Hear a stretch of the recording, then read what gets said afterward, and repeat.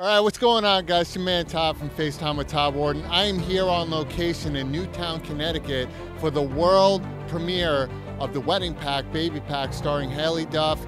We have a whole great cast that's going to be following us today here on the red carpet. And of course, I'm doing it in the dark right now because I forgot to do the intro during the daytime. So that's why I'm doing it in the dark. But I'm going to bring you all the highlights, I'm going to bring you all the interviews, and I'm going to be right back on the red carpet with my first guest. All right, what's going on, guys? So tonight we are on the red carpet, and I got to speak to the writer director first. This is Matt Berman of the Wedding Pact. Matt, how you doing, man? How you doing? Great, to, great to have you here tonight. Yeah, you too, man. You too. Of course, you too. but uh, this has obviously been in the works for a while. COVID and everything stopped production on a lot of things. But let me ask you behind the story.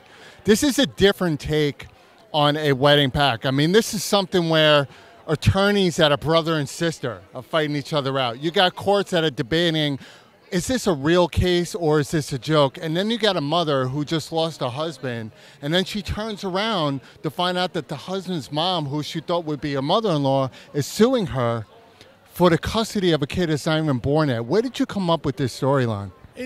you know, it was one of those things where when I did the first movie, it ended up happily ever after. And then I started thinking, well, what if happily ever after didn't quite turn out that way? And then it was I came up with this idea for this lawsuit because it was kind of a shot at some of these frivolous lawsuits that you see all the time. And I was like, and because she has a line in the movie where he, she goes, he says to the, the brother says to the sister, "There's no way that anyone's gonna." going to do this. Right. And she says, "You times have changed. Courts will listen to anything. Doesn't mean they're going to rule in your favor, but they'll listen to anything today." And that's kind of how it how it uh, evolved. Yeah, and I'll tell you something. I think a lot of people look for a lot better storylines, and I think there's a great storyline. I think everybody here tonight is going to enjoy this. And you have a great, great cast. Now, how did you come about casting some of these great members from Quinton Aaron to obviously Haylie Duff? Where'd you, you come know, out with that? I mean, Haylie's you know unbelievable. You know, Quinton, I call, called him on the phone, sent him the script. They all love the script. That was the key you know, it starts from the script, and then you talk about it, and getting Connor Trinneer. I'm a huge Star Trek fan, so I got him from Enterprise, and uh, Chase Masterson from Deep Space Nine. And as you can see, look, the love, they're all hugging each other over there right now, the cast and everybody. So uh, yeah, it's just real exciting, and everybody had a great time on it. And they believe in the characters, and they believe in doing really good work, and they like the writing. And you know, they're actors. That's what they do. They're not just stars. They want to, you know, hone their craft and do something that they that they like, and that seems to, to be what happened. You know what the best part about it is? Even though it technically is not your hometown, you grew up not too far from here. So how special is this to bring this back to Connecticut? It's the best. I mean, to bring this back to Connecticut, I grew up in Branford my whole life. To bring this back to Connecticut, to see all these people being a part of something special that they don't get to do a lot. You know, a lot of times that happens in LA. Everybody's kind of used to it. Here, it's like a special night for people and you know have them come out and share this with them and i'm really confident in the movie i think it's really really good and i think they're going to love it well, I'm going to love it. I think everybody else is going to love it. And we can't wait to see it. So, guys, we're on the red carpet. That's right. Check it out with Matt Berman, writer director. How you doing, gorgeous? Well, hungry all the time, and I'm tired and stressed out and moody. Oh, and I'm pregnant with my dead husband's baby. How you doing? All right, so we're back on the red carpet with Haylie Duff, the star of the movie. How you doing tonight? I'm doing great. How are you? I'm great. I'm great. So I got to ask you, what did you think about this role coming into the the sequel? And it's a different take. I mean, I don't think this is anything a woman could ever prepare themselves for. That, right? That your husband who just passed, and then the mother-in-law to be, well, who already was, is now suing you for custody. How did you really prep for this role? There had to be a, a like a huge emotional roller coaster coming to this. You know, I think um, going into the sequel, you know, first of all, it's such a special thing to get to continue telling a story. Yeah. Like this, especially so many years later. I don't think any of us thought we would get to do this. So we were so excited to get to come back for another one. But um, especially the blend of like drama and comedy in this makes us really unique. Yeah. And um, as a woman and, and also as a mom, I have two kids of my own. Mm-hmm. I look at Elizabeth's story and I think like what a difficult position to find yourself in. Right. But also, I look at the positive side of it too, and I think she's so lucky. She she finds herself surrounded by like so many amazing people in this story, and she finds like this crazy guy. like she finds she finds love and support from people that she didn't expect. And I think that the first movie ended with this really happily ever after moment. Right. And then we find her years later sort of in like the worst moment she you know she should be in the happiest place of her life having her first baby and then she finds herself in like the worst possible situation and i think this is just a reminder to us that we need to rely on our family and our friends to get us through those tough times and that you never really know who's going to like step to the forefront and be there for you Yeah, and I agree with you 100%. I mean, I love the fact that if you want to do an analogy, COVID played the same part where at the end of the day, we have to really realize how important our family and friends are. And in this movie, your friends from Quinton, who played a florist, who owned, he came to your rescue, and everybody else has showed love. And sometimes you have to go back home to appreciate what home was all about. What do you think And about did that? In the pandemic, I you know, in the middle of the pandemic, I moved home to Austin. I moved back to Texas, and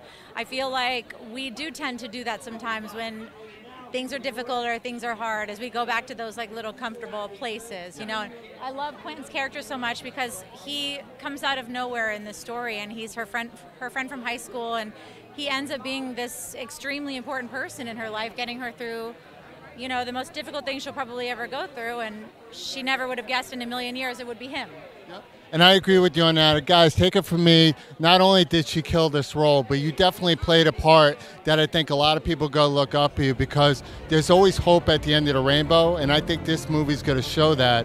And I think everybody out there is going to love it when it comes out on June 14th. So, guys, yes, of course. And this is Haylie Duff right now on the wedding pact here on the red carpet on FaceTime with Todd Wharton.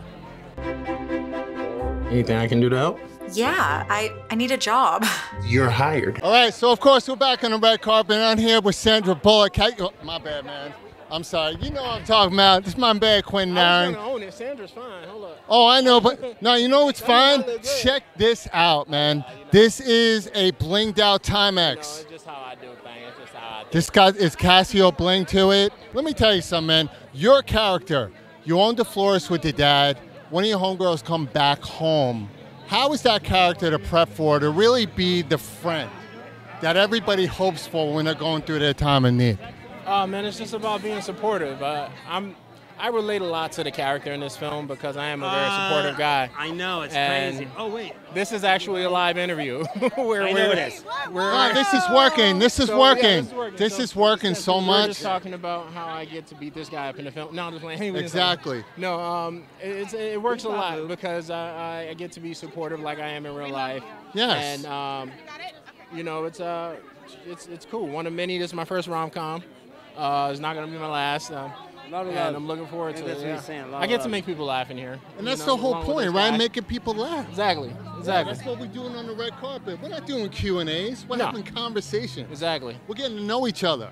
Knowing We each want other. to know what a 1942 is for this five and a half hour movie that you just threw me in on. We got yeah, exactly. director's cut. With Exactly. director's cut. Yeah, man. But it was a great role that you play, and we love that we got another guy that's coming back in here. Producer, this is Mike.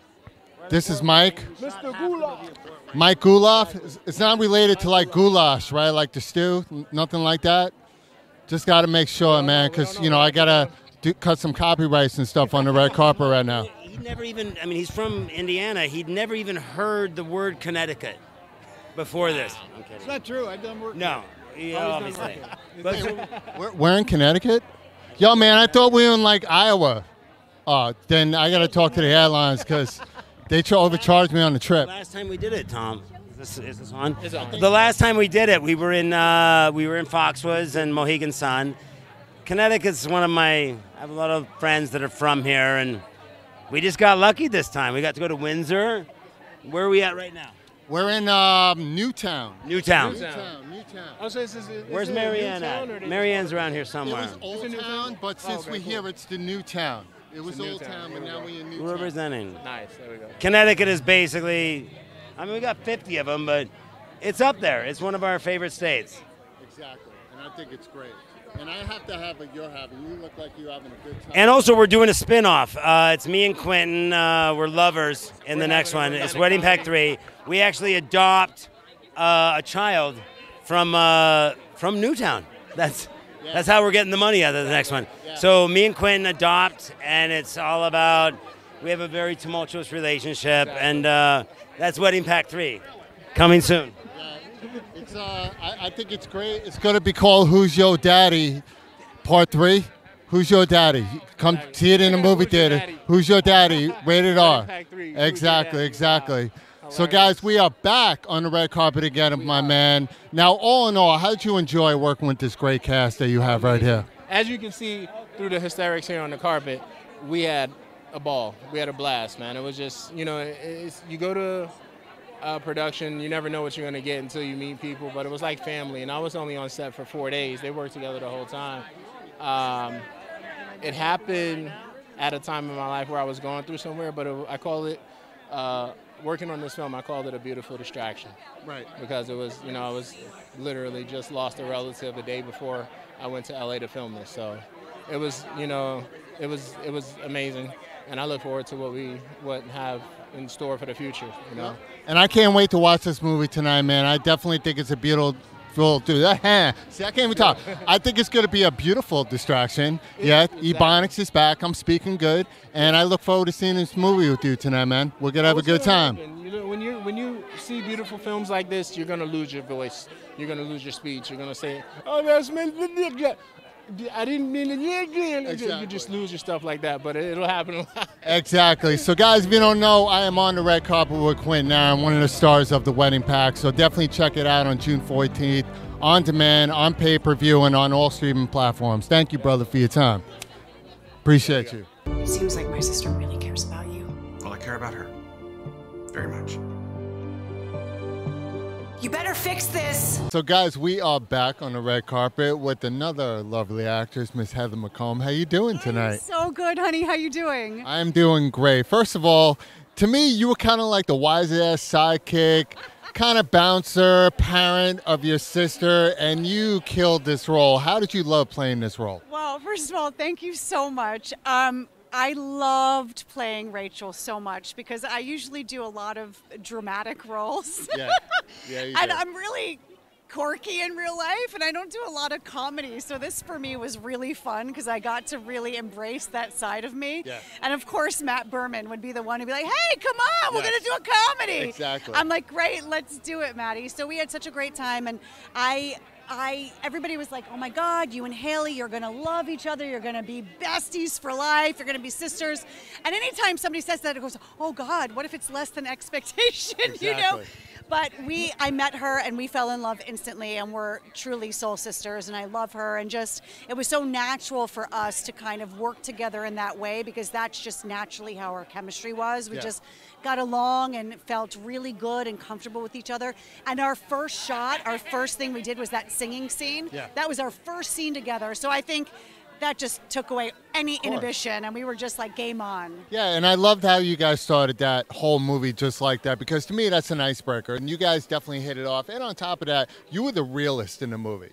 Like even though there was a lot of drama going on, your comedic presence kept it real and brought us all back to like, hey, there's got to be at least one person, even though they're funny, and they're like, no, this is some bullcrap going on. We need to step it up and get this done right. And even in the end, you gave her ex husband, her ex fiance, a hug, and you're like, yeah, nice to see douchebag. And it was just the perfect line for that. So we were so that I'll tell you a little story about the douchebag line, which got a huge laugh tonight. Yes. Well, you know their history in the movie and everything, but we were doing ADR, which is when you go into a studio and you either ad lib lines or you dub things that you know there was sound over. Um, for those that don't know that, so you know, Matt was like, "Oh, so I want, I, I'm hugging Scotty here," and I did it, and I was like, "I said, oh, love you, buddy," and he goes, "I don't know that you would say buddy," and you're like, I'm like, yeah, I wouldn't say buddy. He said, so just give me three shots. Yeah. Do something new. And I was like, hey, thank you, whatever, douchebag. so I, I'm glad I got a good laugh because it was totally ad libbed. And that's what I love about Matt is Yes. he brings that creative freedom where we feel so comfortable Mm-hmm. that we can just try stuff. And look, if it doesn't work, it doesn't work. You, we trust him enough to know that he'll just get rid of it. Yeah, and I loved it. And I'll be honest with you, the way you guys left it off, the new baby, the new relationship she's going really in. want a third one. That's what I was about wanna say. Now, um, I don't know about anybody, but I was talking with Quinton and Scott. We were trying to talk about what the baby is growing up. Now that I find out the baby's a girl, I have no shot on being a baby. but there is surgery I can do. And we can get this done. So I'm sorry I won't be in the film, but I will be here to cover it for the Baby Pact Wedding oh, Pact so 3. happy you're here, and thank you for all your love and support, man. It's awesome. Yeah, of course. And I appreciate you too. Guys, this is Heather McComb on FaceTime with Ty Wharton here on the red carpet at the Wedding Pact, the Baby Pact sequel. She happened to mention the name Jake Jones. Maybe you enjoy being stood up at the altar, but you're not going to do that to me. You really going to go there? Okay, so we are right back here on Days of Our Lives, and I'm with uh, Scott Days of Our Lives? Michael What are you talking about? Campbell. Is oh oh sorry, we're we're back here on on the wedding pact. Oh wait, I want to talk to this are we live right now? We're not on Days of Our Lives, What- by the way. no, I have but but on we're Days of Our live. I'm just crashing interviews on the carpet. That's how we do. Here we go. uh, I'm with my boy Quinton. Yeah. Just, you know, I'm with my boy Quinton. Somebody's filming us over here. Apparently, we're on Days of Our Lives. Yes. Uh, we're at Wedding Pact 2, and it's awesome. That's Exactly. Nice camera, by the way. And Oh, yeah. uh, we're gonna go to the after party, and we're gonna we're gonna keep it real. We're gonna go, dude. There was a group of girls around here earlier looking for you. I know. They were, they were I calling for know. you. I I was trying to find you. I was gonna help you out. I know, but they're yeah. I, Yeah. I understand. Yeah. I understand. After party, come to you. Definitely after party coming to me. That was my man Quinn Nine. It's my boy Tom. Tom. Most people call me Todd, but he can call me Tom. I'll respond to it. Call me Scott Tom. This is my man, Scott Michael Hi, Campbell. Mom. What's up, Ma? And we are on the red carpet right now. And this man played Jake. Jake had a little bit of an issue. Got left at the Jake Jones. Jake Jones. Jake Jones. Jake Jones. That's a porn name. You know that, right? Talk to Matt about That's it. what I was him saying. that. I thought it was a porn name. I'll just call you JJ. What's happening? It's not a porn film, by the way. That's what- I'm like Yeah, I mean it is the wedding pact, and you know, Heather McComb. Put your put your clothes back on. Put your clothes back on. Don't get naked. Jesus Christ, Heather McComb's literally stripping naked right now. oh man, that's a new way of that. Anyway. Wait, isn't that No, Star Trek we're- like we're Deep going the Space Nine? party Of, uh, Wedding Pact Two.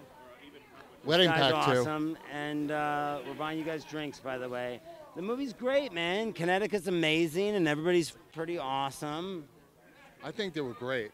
I think the whole show was great. We had a comedic background from uh, Kelly. He was just throwing in uh, the kicks. There he is. Kelly was laughing in the background. It was awesome. Come on in, Kelly. This is Kelly Perine. To see these guys. I, I did this much in this movie, but what Matt did and these guys, everything, I, I like to laugh and I enjoyed what these guys did. And man, you guys, And by the way, Time, thank you. just so you know, Kelly's not even wearing pants right now. Yeah, not even. It's crazy. Not, not even. I mean, it's cool. I mean, it's impressive, but Don't don't like, pan down. Don't I- don't pan down. Um, see you at the after party. Yeah, and I don't like crossing swords on the red carpet. Yeah, yeah, Just th- thanks, Kelly. Oh, yeah, thanks. No, thank Appreciate thank you, man. You know, Scott for like saying that and then leaving. It's awesome. It's bad enough I'm holding a phallic symbol, and now you got to have no, pants. How it's- But man, did you have a good time? I had a great time, man. I had a great time. I think everybody's gonna have a good time. Check it out. I guarantee you, June 14th on pay-per-view, video on demand, and all streaming platforms. You got to check out Kelly and the rest of the crew on the Wedding Pact. Coming to you soon. Hello, Elizabeth. Ms. Becker, what are you doing in Fort Wayne? You're filing for full custody?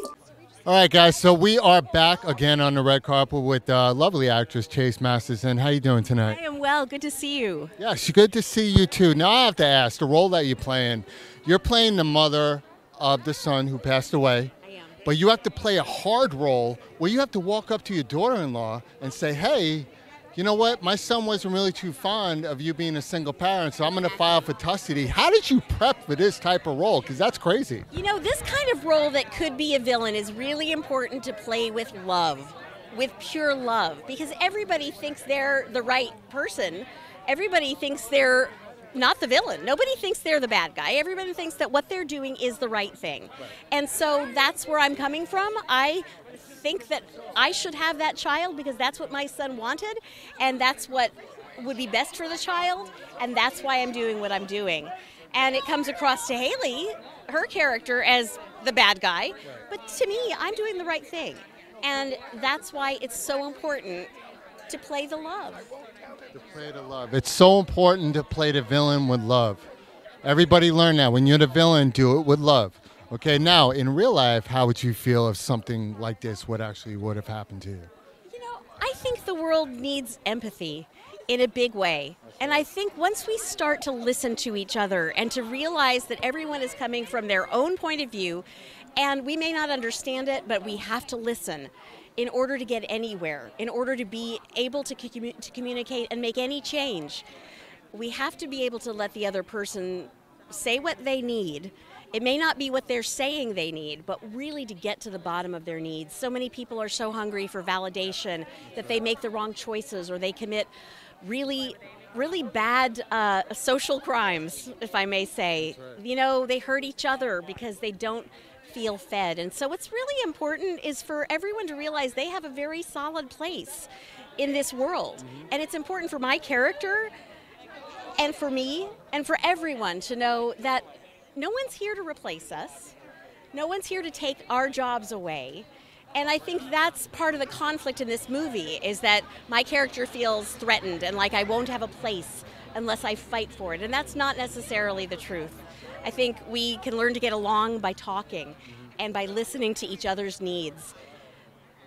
I'd be, I'd be honest with you. I love the way you just put that, and I th- I agree with you 100%. And this movie has such dialogue and such back and forth. I think everybody's gonna love your character. At first, they may not, but I think at the end they're gonna love it. Thank you. You know? I think so too. I think that, you know, this is a very, uh, it's a serious thing that's happening between these two women. But when you find the love, things tend to work. And I love it. When you find the love, things tend to work. Guys, I'm on the red carpet with the actress Chase Masterson. So good to see you. Good to see you too. I mean, oh, look at you. I know. Look at me. All right, so we're back on the red carpet. with My man Kelly Perine. How you doing, bro? Man, you know what? I am fantastic. This is the uh, second time I've been here in, in, in, in Connecticut, in beautiful Newtown. I had a movie called Manipulated that I was out here about three years ago, and I'm out here to promote the amazing film Baby Pact.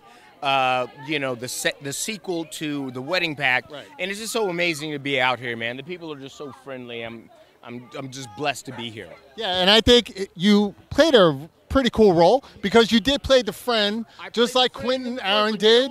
You know what I'm saying? friend in the first Friend one, right? Friend one. Well, friend one, they call me Mr. High Quad. High quad. Not- I'm not going to go ahead and promote anything that some parents would not want their kids to do. But you know, y- you know, I played Mr. High Quad, who was a friend of Mitch's in the first one, who don't want to give anything away. But in the second one, I'm here to support my friend Mitch.